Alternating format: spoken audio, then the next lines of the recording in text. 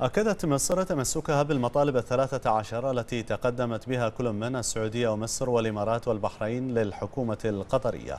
وصرح المستشار أحمد أبو زيد المتحدث الرسمي باسم وزارة الخارجية بأن وزير الخارجية سامح شكري نقل تحيات الرئيس عبد الفتاح السيسي إلى جلالة الملك حمد بن عيسى الخليفة وقام بإبلاغ الملك رسالة شفهية من الرئيس السيسي تناولت تقييم مصر ورؤيتها للتطورات المتلاحقة في المنطقة وتأثيراتها على استقرار الدول العربية وشعوبها.